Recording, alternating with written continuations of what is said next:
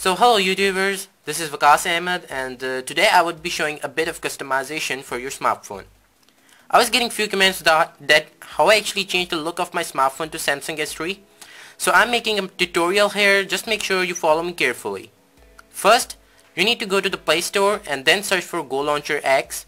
Well, the question may arise that what it is actually. It's an application software that would mod the smartphone for you.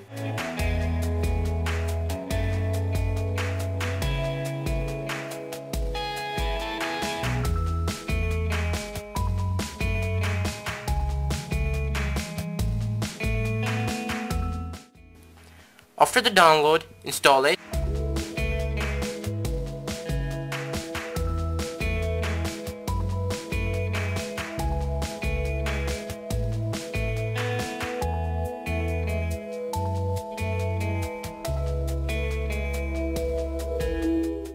And once you are done with setting it up, delete ads and also delete extra screens.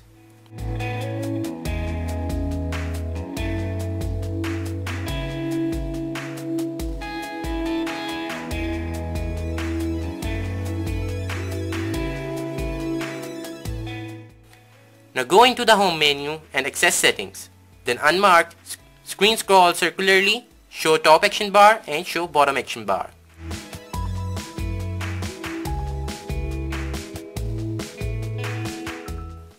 Okay, now we want it to look, look like Samsung S3 or S4.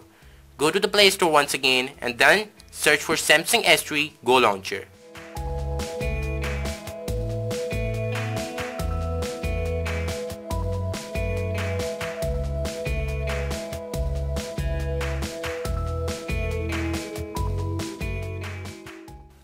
Keep in mind, Go Launcher Ex must be installed. You can't find them? Well, that is not a problem. Don't worry, I would be given links in the description. Install it, set Go Launcher Ex as your default home menu so that this pop-up screen doesn't bother you anymore. And now, I want to exclude the background from my ho home menu. Access the Go Launcher Ex settings again, go into the background settings and now hold the wallpaper icon and, ch and change this to none. And I am done with excluding the background. But the wallpaper isn't good enough to be a Samsung S3 or S4.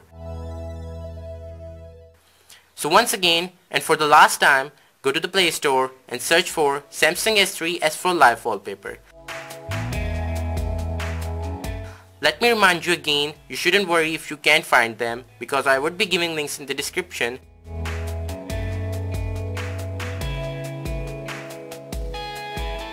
After the download, install it, go into the settings and select your desired wallpaper from Samsung S series and set it as your wallpaper.